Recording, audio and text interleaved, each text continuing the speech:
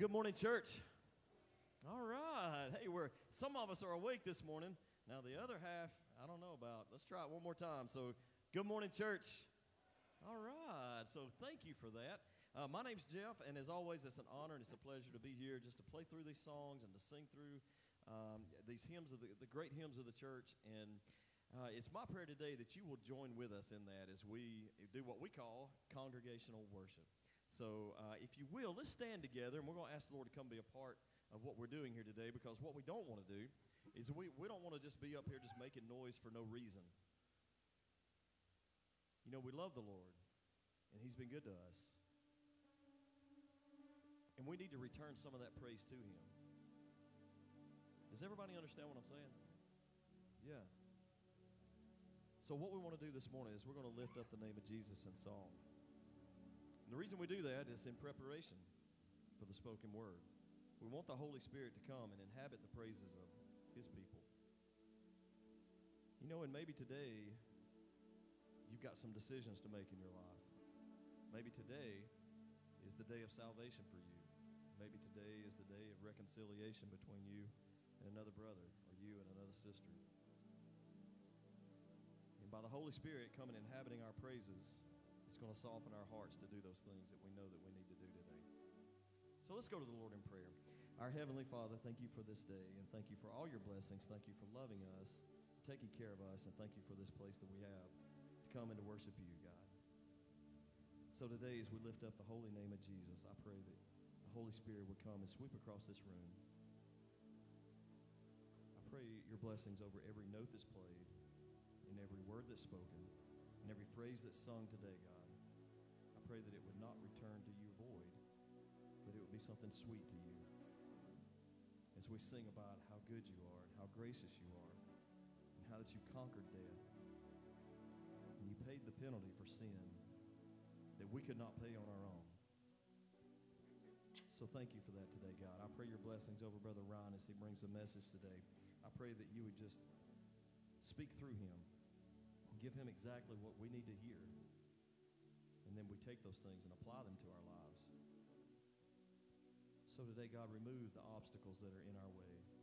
If there are things that we've built up in our lives that would come between you and us, I pray that we remove those things and lay them at the foot of the cross this morning. And all these things I pray in Jesus' name. Amen. Uh, we're going to start off this morning with a great song called Good and Gracious King. If you know this, sing it with us, please.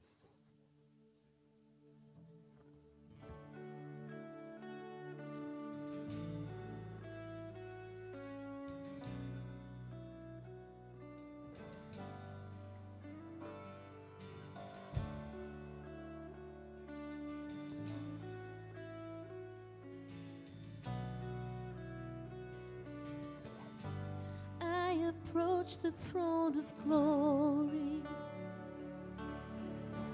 Nothing in my hands I bring,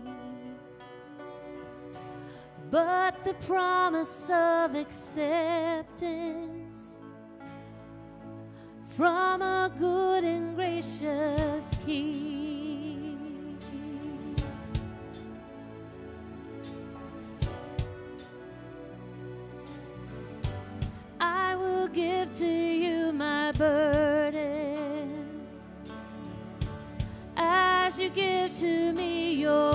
Your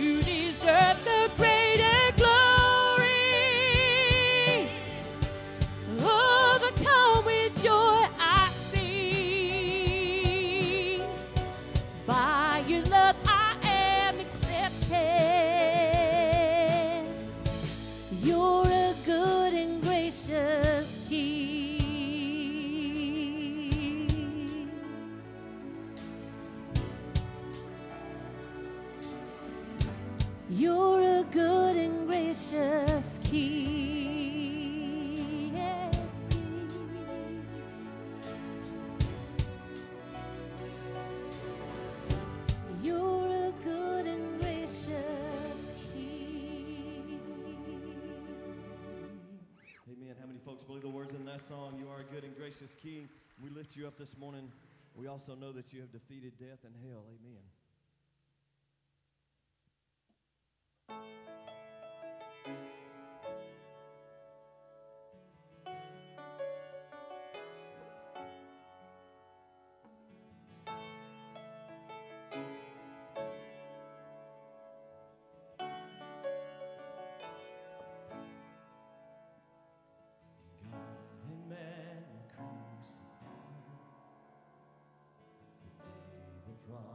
one.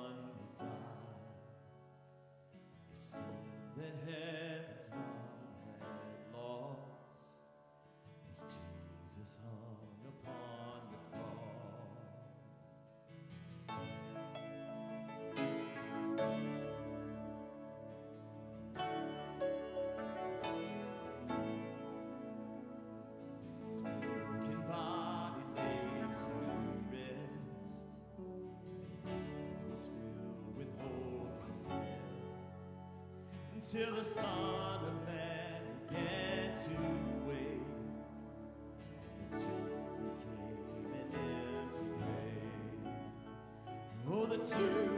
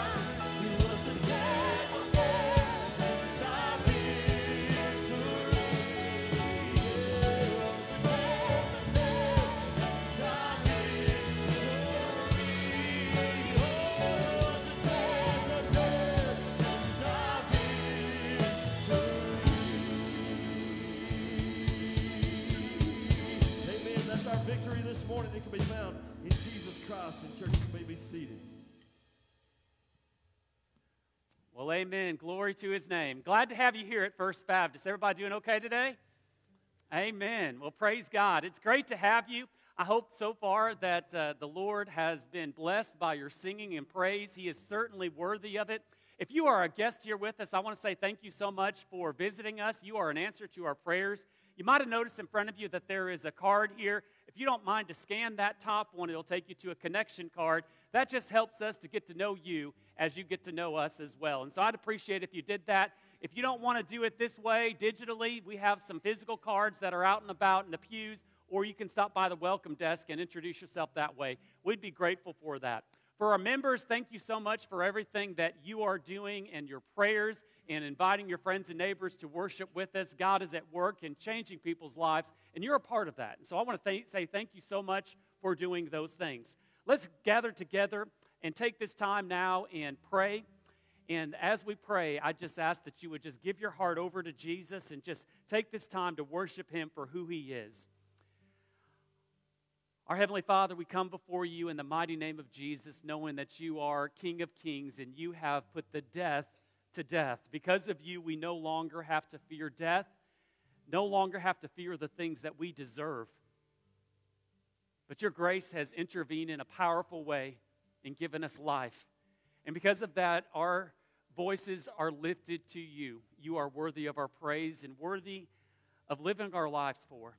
And I pray today that you would just work amongst us in a powerful way. God, if there's some people here that don't know you as their personal Lord and Savior, I pray today they would believe on the name of Jesus and repent of their sins and be saved. But I know that there are other people who are struggling with a number of different things.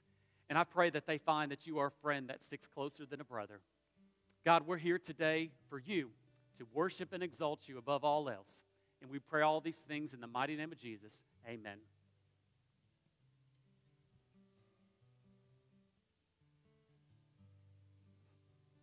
You stand with this church to sing this great hymn of the church with us today?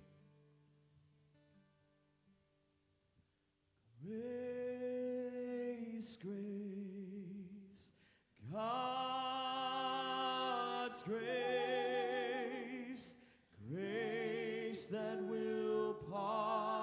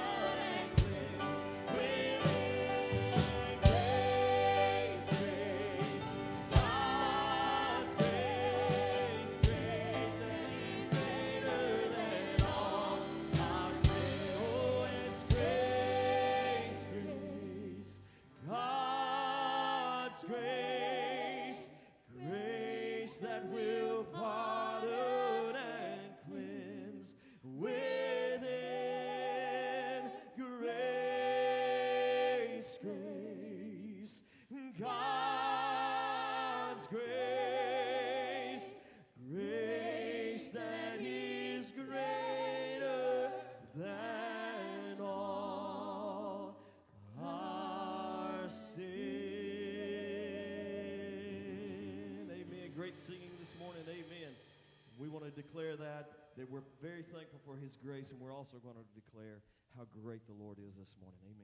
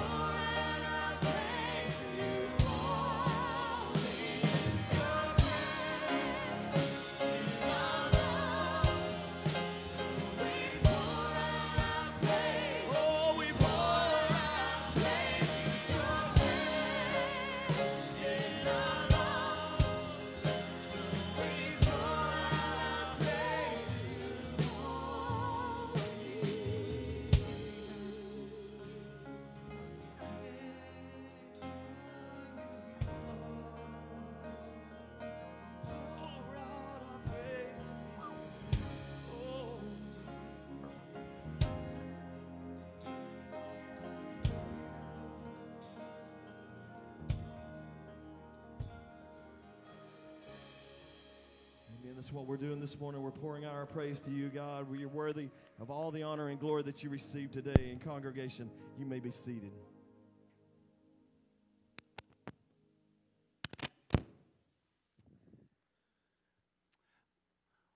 Well, amen. If everybody will open their Bibles to 2 Timothy chapter 1, 2 Timothy chapter 1. In just a moment, I'm going to read verses 8 through 12. 2 Timothy 1, verses 8 through 12.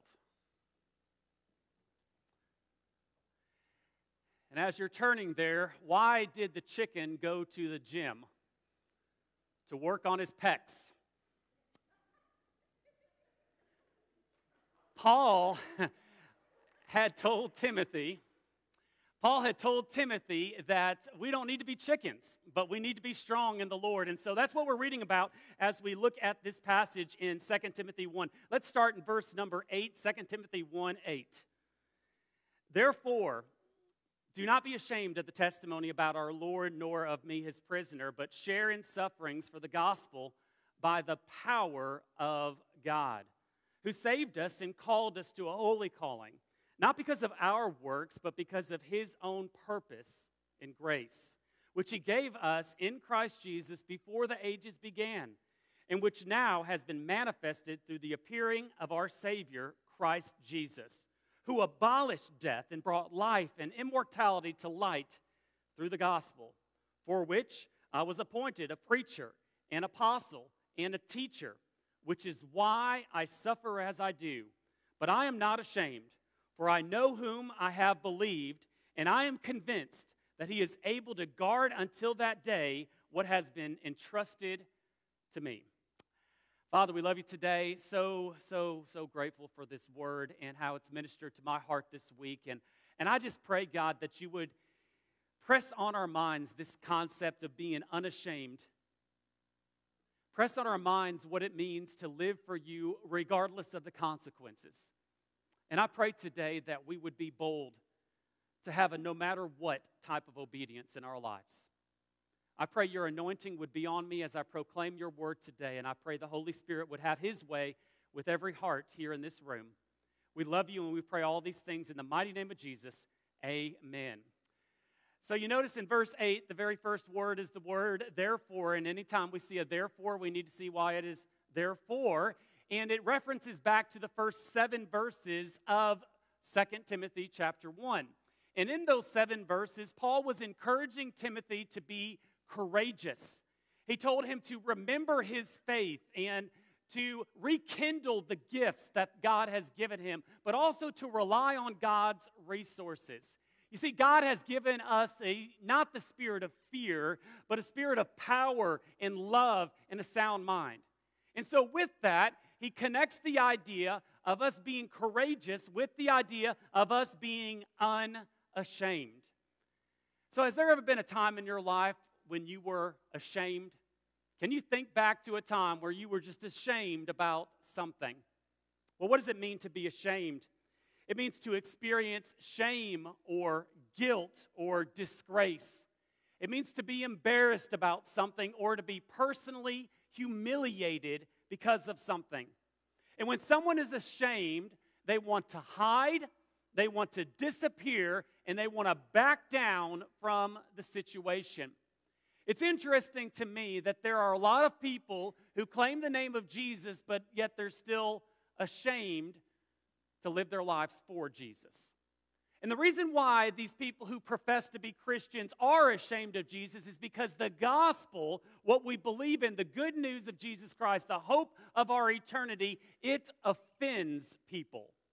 And I want to share with you four ways in which the gospel offends people, and these are reasons why modern Christians feel ashamed about the gospel. This comes from Tim Keller. He said, to begin with, the gospel tells us that we are spiritual failures. For all those people who think that they're pretty good people, the gospel says, no, we're actually spiritual failures, and it's only the sick who go to the good physician. Secondly, the gospel tells us that we are wicked. It's not just that we make mistakes here to there, but that we are depraved sinners who have a heart that is deceitfully wicked. And when you tell people that they're sinners, people tend to get offended. There is not any good in humanity. And this is a contrast to all of the world religions that start with the concept that man is basically good and you just have to have that goodness come out of him. No, the Bible explains that there's no goodness in us. Thirdly, the gospel tells us that many good people go to hell. That offends people. There can be somebody that is sincere about their religious beliefs, but they can also be sincerely wrong. Jesus said that He is the way, the truth, and the life.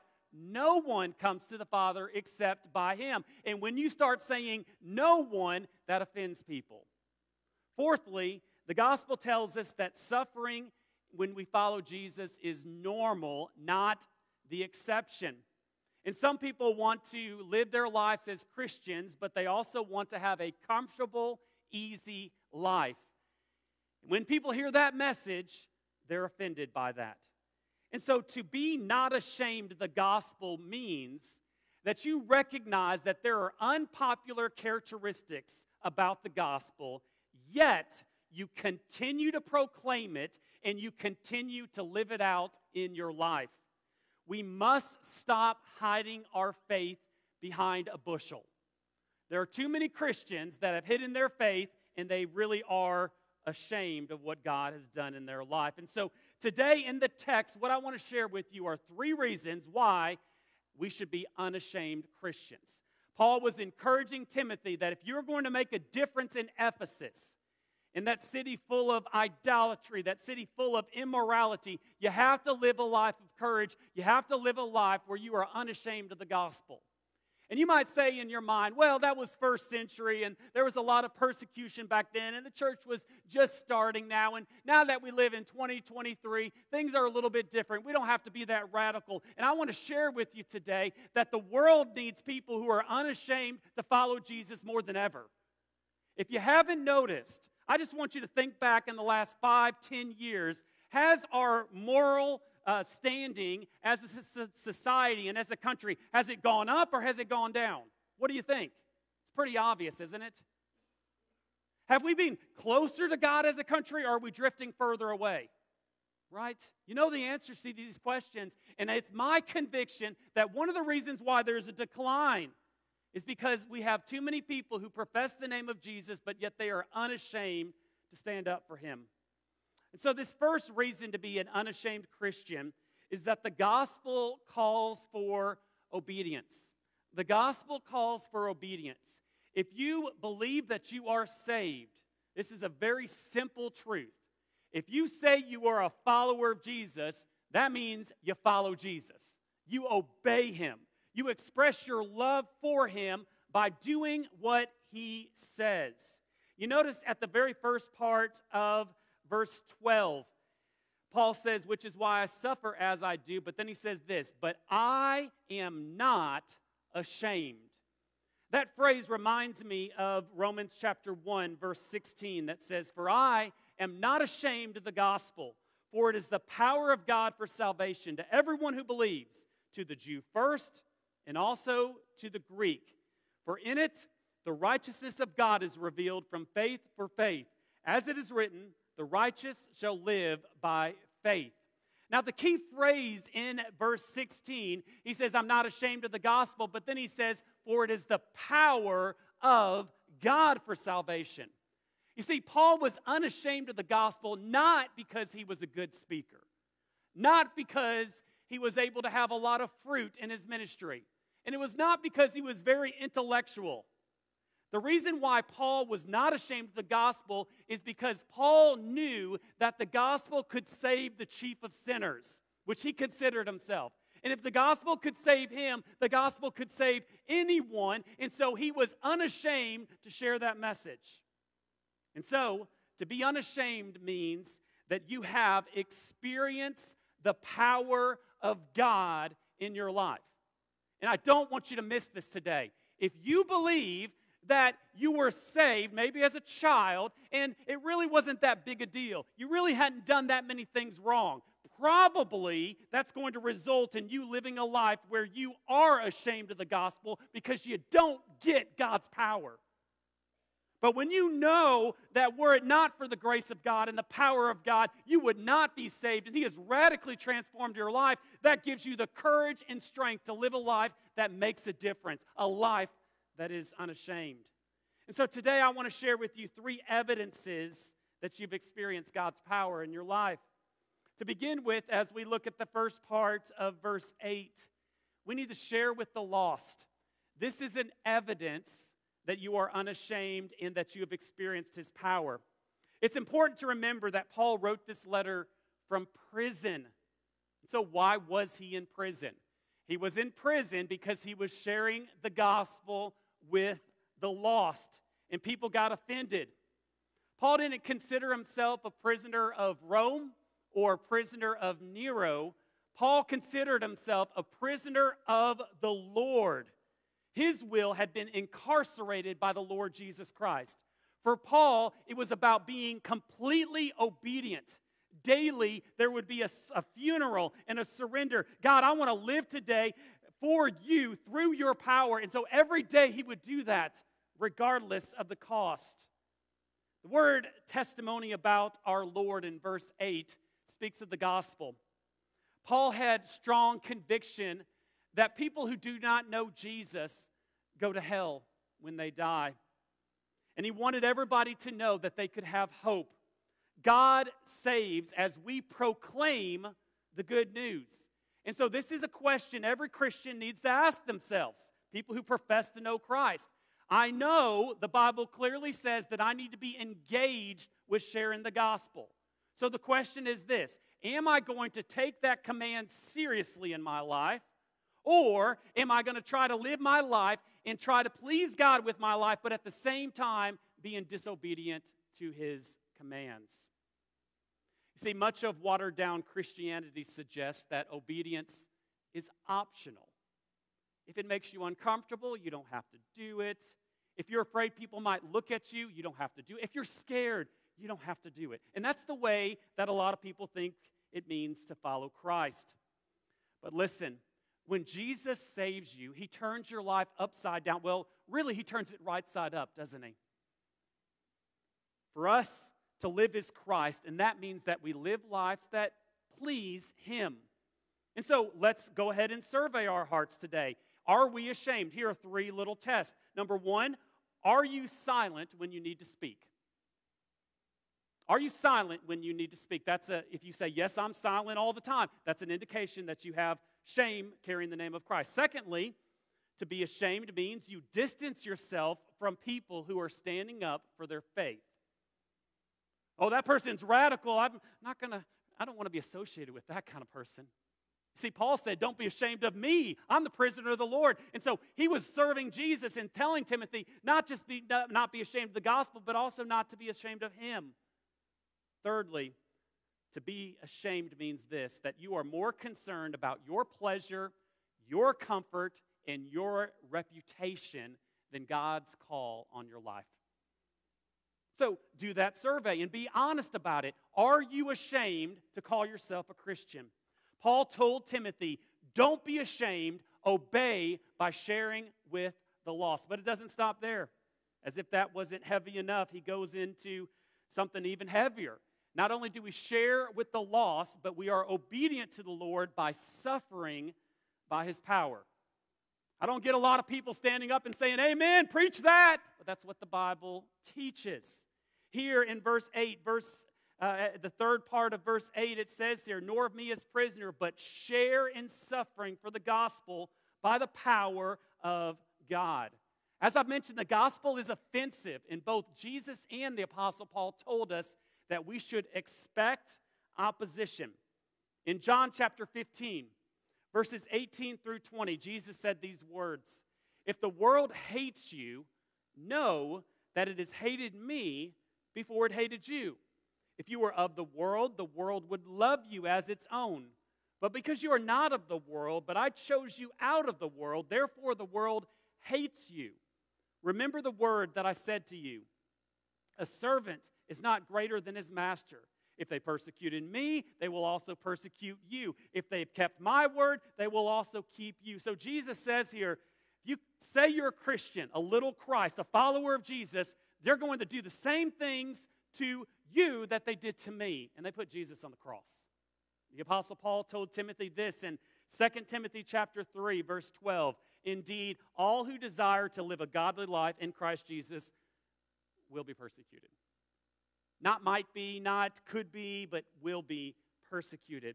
And so when we look at the Apostle Paul's life, what you see is him not living this prosperity gospel where it's health and wealth and, and everybody's happy and everybody's comfortable. Read your Bible and you see Paul was constantly persecuted everywhere that he went for the sake of the gospel.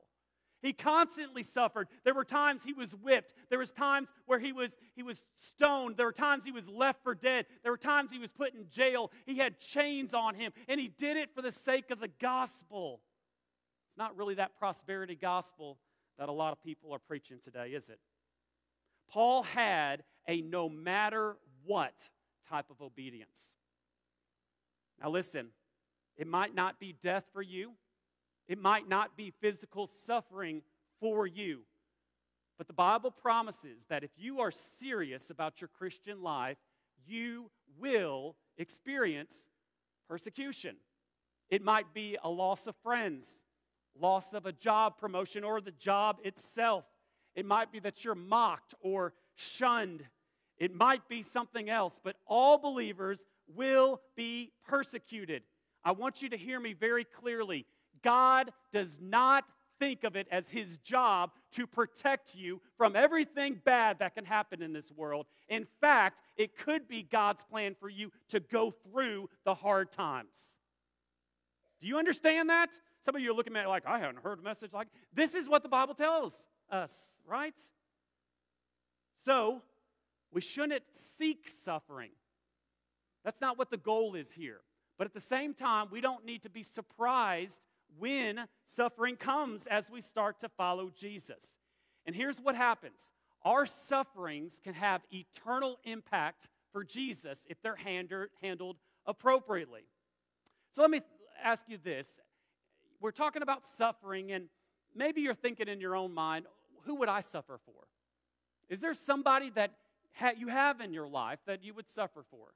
Maybe the first thought is your family your children or your spouse or your parents or maybe a dear friend. You say, I would be willing to suffer for that person. Maybe that's the reason why. And so I ask you a follow up question Why would you suffer for that purpose, for that person? And you'd say, Well, because I love them. And I want you to see what's happening here. Paul suffered for Jesus because he loved him. Do you see that? If you obey Jesus, you're willing to follow him regardless of the consequence.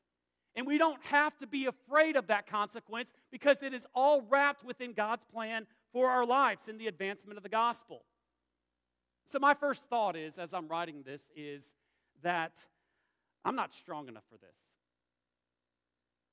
You know, I, you, you read about these guys that take 39 whips. I mean, I got maybe one whip and I'm like, I'm done. I mean, I, I just can't handle it, right? But I think that's the point you see, in our lives, we are prone to an everything but mentality when it comes to relying on God's strength. But that's why, as I said here in this point, that we suffer for the gospel by the power of God. It's not about our strength and how much we can endure, but God gives us that strength to endure whatever He would have us to endure for the sake of the gospel. And so Paul told Timothy to share in the suffering by the power of God. The very same power that raised Jesus from the dead, and the very same power that rescued you from the, the hell that you deserve, is the same power that God can give you to endure hardships. Paul said that he boasts in his weaknesses that the power of Christ might rest on him in 2 Corinthians 12 9. And so we're looking at this call of obedience and, and just, just think about these things. We're going to see how it's going to impact things in a minute. Sharing with the lost, suffering by God's power. But thirdly, this doesn't get any better for some of you. We need to separate from the world. You notice here in verse 8, at verse 9 rather, he says he saved us and he called us to a holy calling. This is the call of a Christian. It's a call of obedience that we live holy lives. We live pure, and we live separate from the world. This means that when we sin, and we will sin, that we confess it. We don't allow unconfessed sin to linger in our hearts, that our hearts are hardened so that we begin to have our consciences numb, where it doesn't bother us anymore if we're out of the will of God. That happens all the time for people who profess to know Jesus. We're not perfect, but is there progress in your life? Are you seeking to know Jesus more and more? That's what it means to be obedient. That's what it means to be a Christian. So here's what it's about we are separate from the world in order to serve Jesus. That's why we're separate from the world. You see this in verse 11. Paul says, For which I was appointed a preacher and an apostle and a teacher. That's how God used Paul. That's not what your calling is or my calling is, but that's how God used Paul. God will separate us from the world in order for us to serve Him for His glory. So many people try to do things to prolong their lives. They do whatever it takes that they might live longer and live longer and live longer. Listen to me. Eventually, there's going to be a point where we stop living. Death is going to come unless Jesus comes back. Rather than living a life that just constantly pursues, how can I live longer? Why don't we live a life that invests in something that is worthwhile? And so, for me, whether I live to be 43 or 93, let it be Jesus, right? That's what it means to be obedient. And so Paul's telling Timothy here stand up for Jesus, don't be silent, preach the truth, and be faithful to me who has been preaching the truth. It might cause you harm, it might even cost you your life, but be courageous and do not be ashamed. So, by show of hands, who's going to sign up for that? Everybody ready for that? I understand that. We look at this call of obedience and we're just like, wow, that's wow. that's, that's a lot.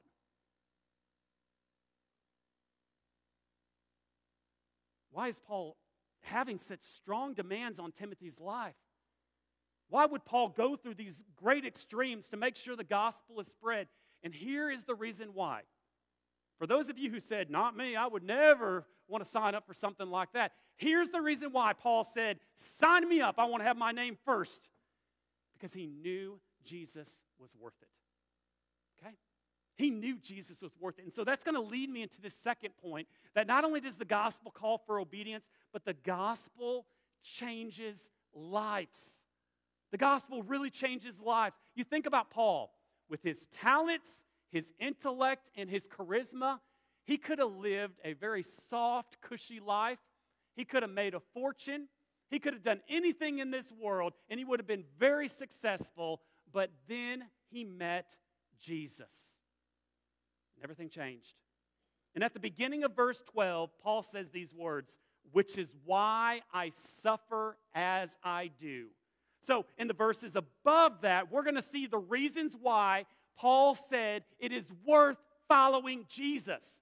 So, some of you here today, you were offended by that first point. The gospel calls for obedience. I don't want to share the gospel. I don't want to suffer. I don't want to live a separate life. And here in this second point, Paul's saying why it is worth it. What Paul does here to Timothy, he doesn't go to his feelings and say, Oh, you can do it. Just be a good little boy. He goes to truth. He says, Let me share you some truth and allow this truth to impact your heart so you see that it is worth it. Number one, the first truth about how the gospel changes lives and encourages us to do whatever it takes is that Christ offers grace. Christ offers grace. Paul knows Jesus is worth it because he himself experienced a life change by the grace of the Lord Jesus Christ. Seeing the beauty of Christ and his salvation convinces our fearful hearts that he is worth it. So, note this you will become willing to endure suffering when you see what Paul saw. The reason why some of you are offended at that first point is because you don't see Jesus the way Paul saw Jesus. To you, you look at Jesus and say, eh, he's somebody I can sing about on Sunday morning, but I'm going to live the rest of my life for myself. That's your Jesus. To you, he's someone you can put in a box, put on a shelf, and get out when times get hard. That's your Jesus. But Paul said, My Jesus is my everything. You see the difference? And when Jesus is your everything, you're willing to go through anything for him. So in verse 9, this incredible verse, again, Paul sees Jesus as majestic and glorious and beautiful. And what he says here in verse 9 is majestic and glorious. He says, He saved us not because of our works, but because of His own purpose and grace. So I want to give you three glorious truths about the salvation that we have in Christ. If you're saved, there's going to be a series of amens that will at least come in your heart, maybe even through your mouth, even in a Baptist church. Amen? Number one, salvation is a work of God from start to finish. This is what Paul says here. You notice at the beginning of verse 9, he says there, who saved us. That is, that God saved us. We did not save ourselves. In Philippians 3, Paul lists all of his spiritual resume, talks about all of the good things and all the religious things that he had done. And it was very impressive. And you know what he says? He says, That's dung. It's worthless that I might know Jesus. So I want you to understand today some of you have impeccable church attendance. Some of you live very moral lives. You have a heritage where your mom and your grandmom and her mom and on and on have always gone to church. I want you to understand this very simple truth. You cannot save yourself by any of that. It only comes by God's grace. But then as we look further, it says that it is in Christ Jesus. In verse 9, it says, which he gave us in Christ Jesus. Jesus is the only way. The reason why Jesus came into this world is so that he could give his life for your sins. Jesus took your place, he died for you. So it is in Christ Jesus. If you're trying to put your salvation in your works, what's going to happen with your sin? Who's taking care of your sin if it's about you? No, it is in Christ Jesus that we're saved and in Christ alone. And then also, as we read here, he says, before the ages began. Now, this is just going to blow your mind here, but before the world began, God had you on his mind. It's amazing. God created you knowing that you would rebel, knowing that Jesus would have to die on the cross for you. And now, watch this, and he still loved you. That's amazing. John MacArthur has said these words that God has forgiven us, justified us, and delivered us from sin and Satan, from death and hell, in every sense and in every tense, past, present, and future. God is our Savior. Don't ever think, I'm a pretty good person and God just helped me along the way. No, no. It is only by the grace of God that we can be saved. And so that's the first reason why Paul saw a beautiful Jesus and was willing to suffer for him. Secondly, salvation is impossible by our own works or religious efforts. You notice as it says very clearly there in verse 9, not because of our works, right? We're not saved by what we do. Grace is God giving us what we do not deserve. Don't fall for Satan's lie. I'm pretty good. I deserve it a little bit. No, we don't deserve it at all. The Bible says in Ephesians 2 8 and 9, every believer needs to know this verse. For by grace you've been saved through faith, and this is not of your own doing, it's the gift of God, not of works, so that no one may boast. We can't save ourselves. It's only by God's grace. That's a reason to stand and all. Thirdly, salvation is for God's purpose. As you see there in verse 9, as we continue here, he says, Not because of our works, but because of his own purpose and grace. So God saved you for a reason. He saved you from sin, not saved you for you to continue in sin. You've been saved to glorify God, to know Him, and to make Him known, to advance His gospel. You become a part of the body of Christ to serve Him, to sing praises to Him, to support those things that glorify Him. That's what it means to be a follower of Christ. So, I didn't hear a lot of amens. I'm supposing that they're coming. So, we're moving on to the next point here. Christ offers grace, but secondly, Christ destroys death. Christ destroys death. And these are ways that Jesus in the gospel changes lives. He offers us grace, but then he destroys death. If you look in verse 10, he says, In which now has been manifested through the appearing of Jesus. And look what he did, who abolished death. That word abolished, it means to annul or to make inactive.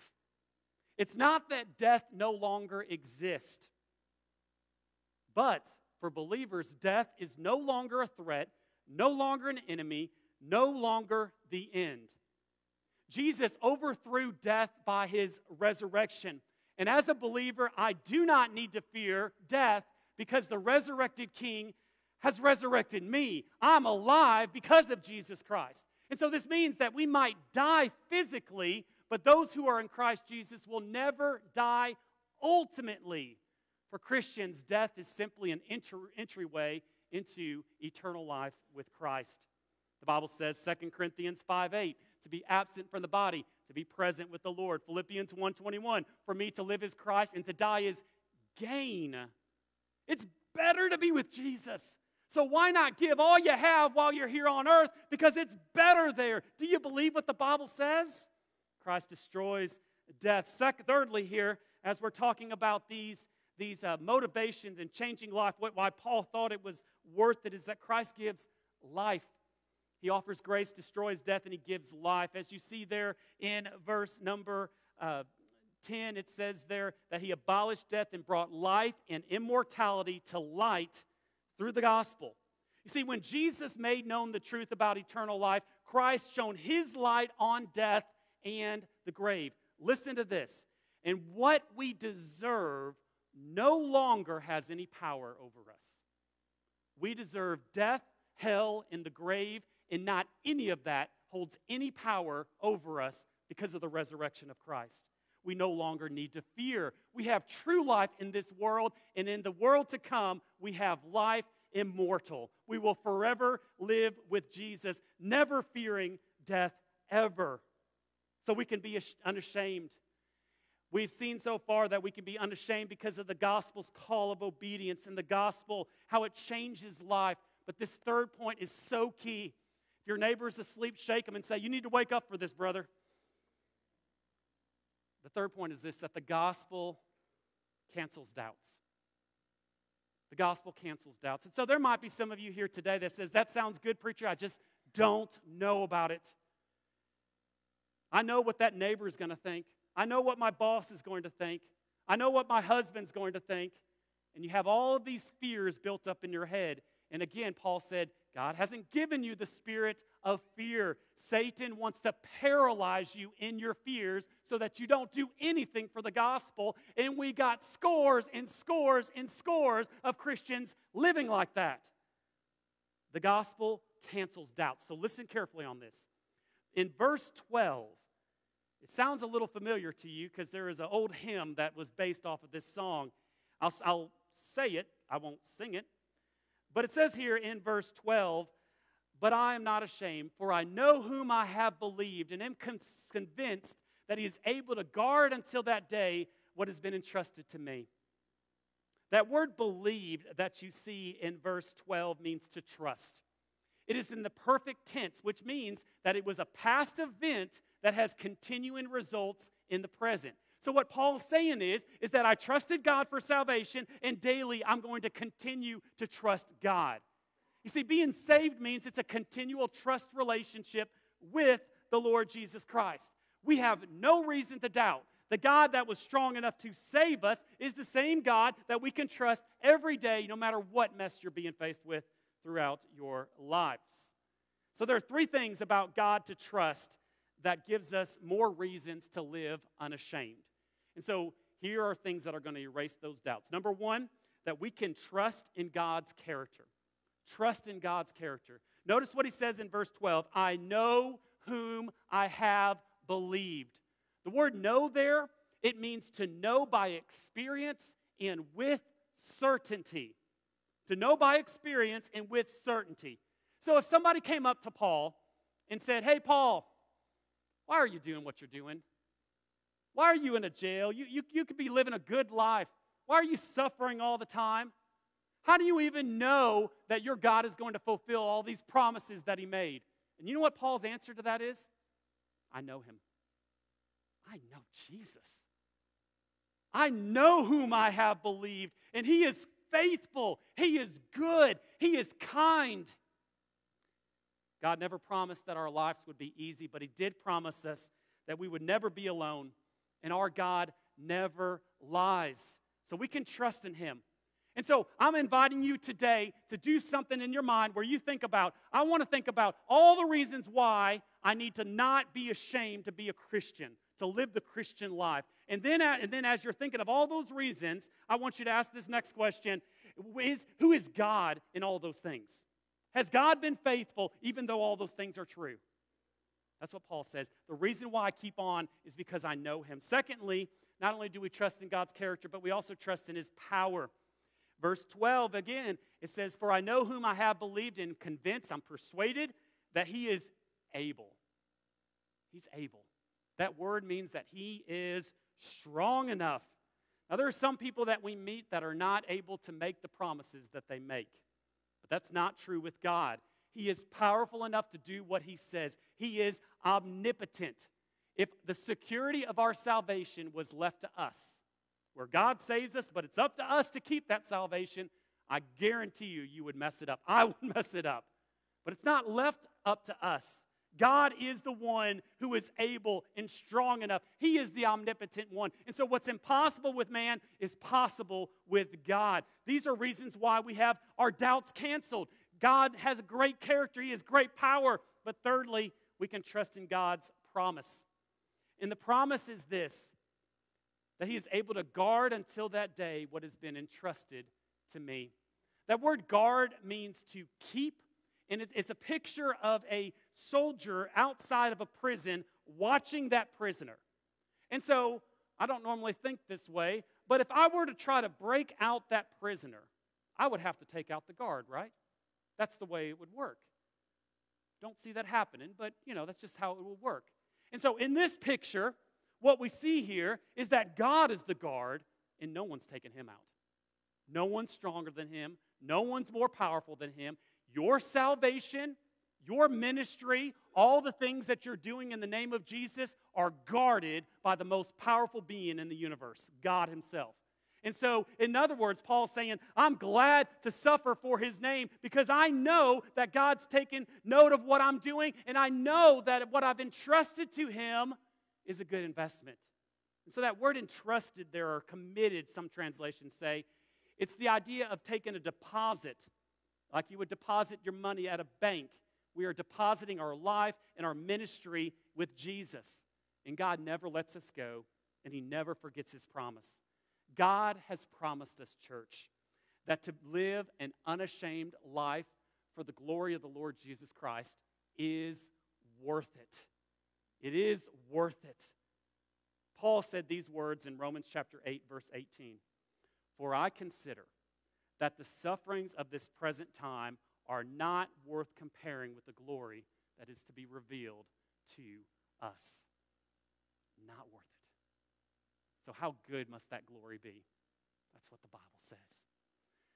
So, wrapping this up today, are you ashamed? Are you ashamed? If you want to live a life that is unashamed, these are the three calls that I've asked you to consider today.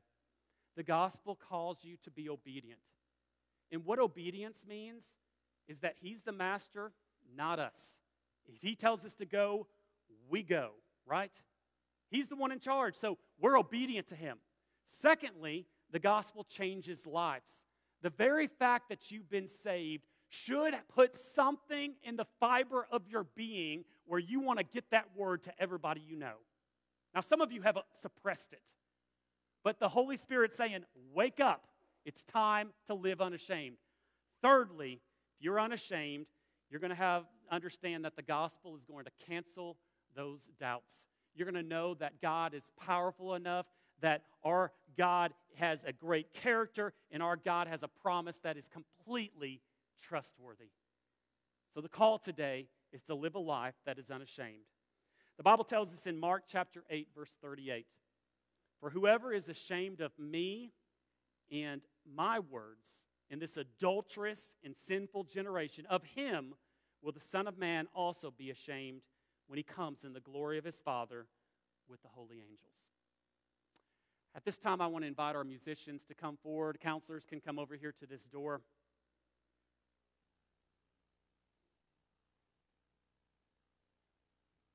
Whoever is ashamed of me and my words of him, the Son of Man, also will be ashamed. Those are powerful words.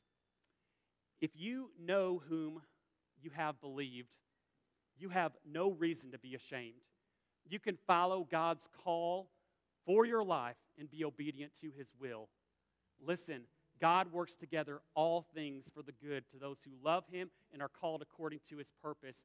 And you will not be able to fulfill God's purpose in your life as long as you make excuses about how far you'll go or who you'll talk to or I'll do everything but that.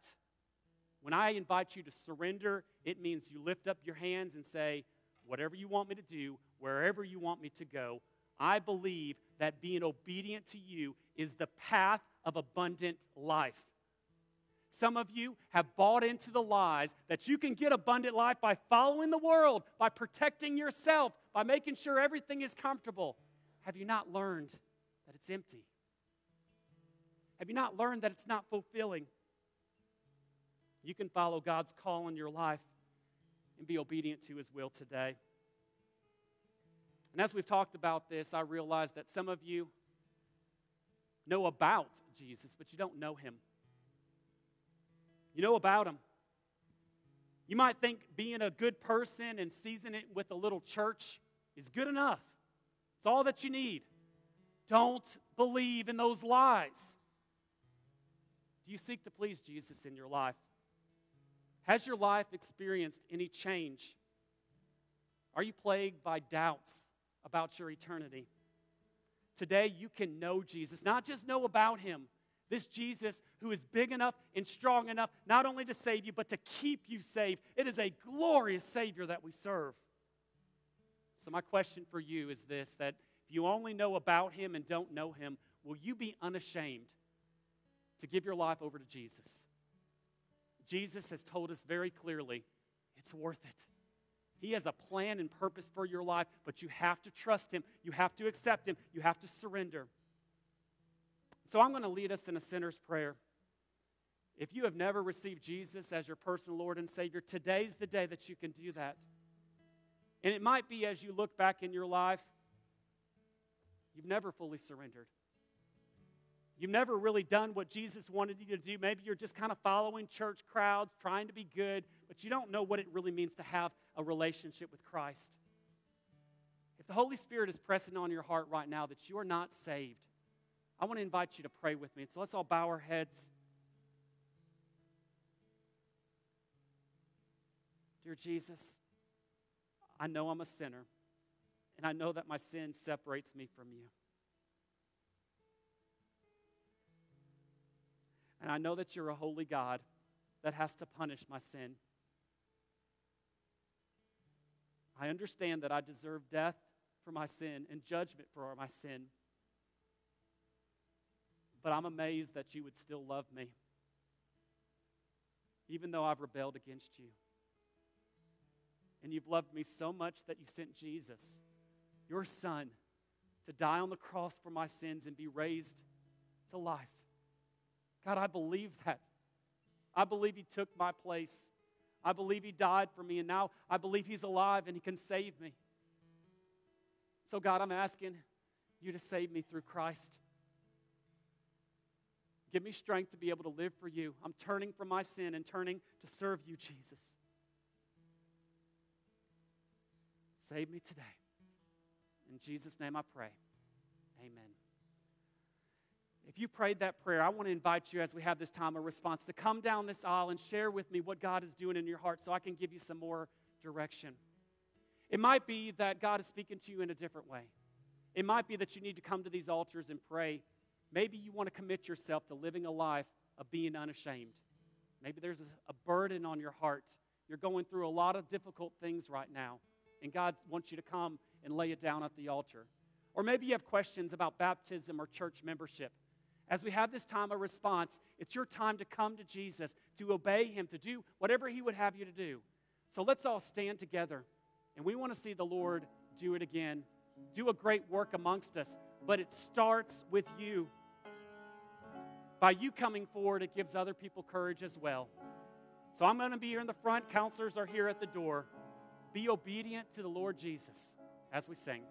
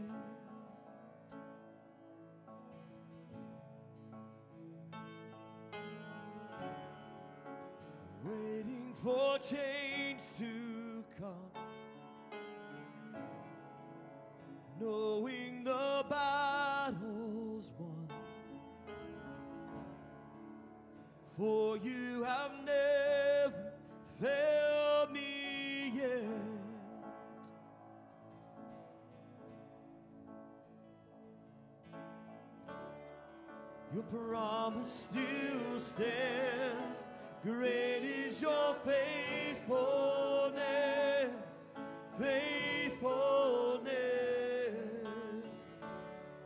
I'm still in your hands. This is my confidence.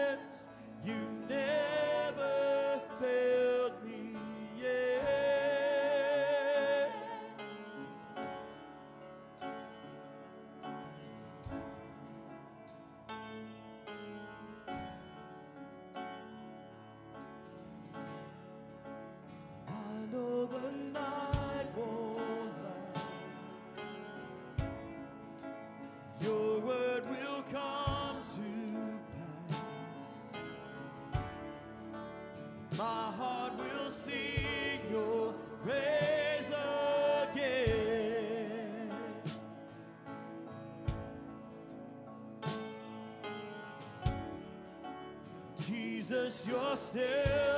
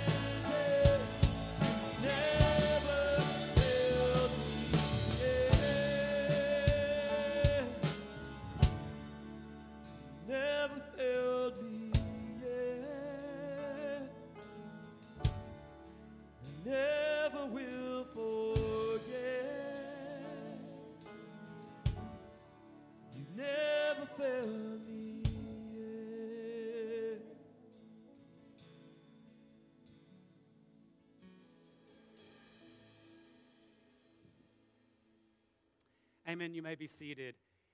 It is a, a, tremendous joy in my heart to worship Jesus with you, church, and I'm grateful for you being here today. We are going to take some time and remember what Jesus has done for us in the ordinance of the Lord's Supper. And so, uh, Brother Robert's here if we need somebody to help him. If you need a communion cup and bread, they look like this. And, um, and so you can go ahead and start trying to open them if you have them. and um, it might take a PhD to do that, but that's why we're giving a little extra time. I'm just joking.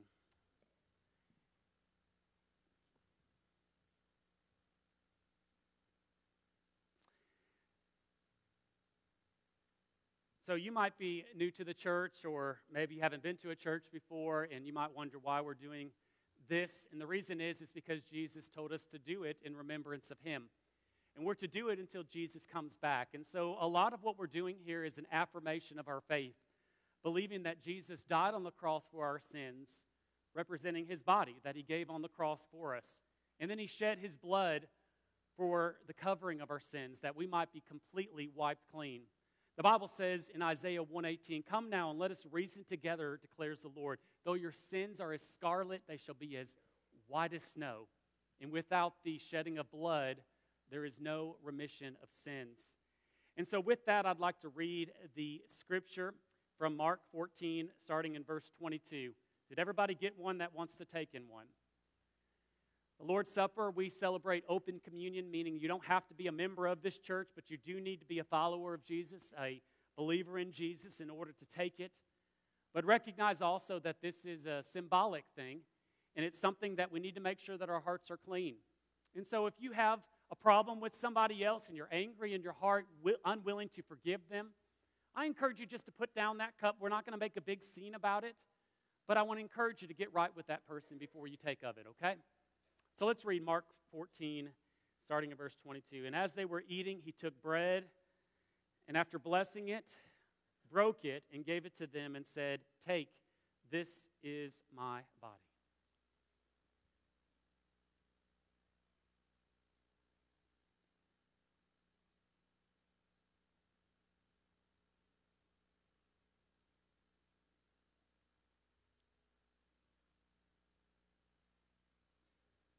It's important to note as we take of the bread and the blood the substitutionary atonement element in all this that Jesus took our place, that he died, he gave his body for us. We deserve what Jesus took.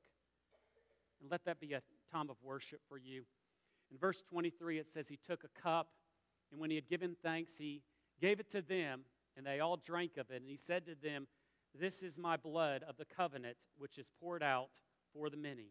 Truly I say to you, I will not drink again of the fruit of the vine until that day when I drink it new in the kingdom of God.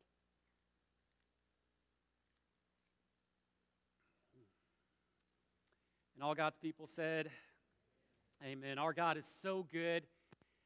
And I know it's important to think about what Jesus has done as we celebrate communion and as you go to church, but let every day in your walk with Jesus be a day where you reflect what he's done for you. I do want to share a few words of announcement with you as we're about to dismiss. Church, we do have some new members, and I'd like to introduce you to them. And so, if Anthony and Rebecca and Aaron and Christian Barnard will stand up, there they are. Wave for us, yeah. They're going to be joining our church uh, from a letter, moving their letter from a sister church. And so, if you rejoice in that, would you signify by saying amen? Amen. Be sure to take time to get to know them. You can't assume everybody knows everybody. it's about relationship, talking to them, getting to know them. They're delightful people, and it's been a blessing to get to know them. And I know God has a great purpose in their lives here at this church. I also have some exciting news. Two weeks from today, we're going to have a vote on a high school youth minister. You remember back on January the 8th, we had Brother Drew Hall come and bring God's word to us. And uh, Brother Drew will be uh, voted on on February the 12th. And so uh, please be sure to pray for Drew and the church as we're moving forward on those issues, and we're excited about what God's doing there.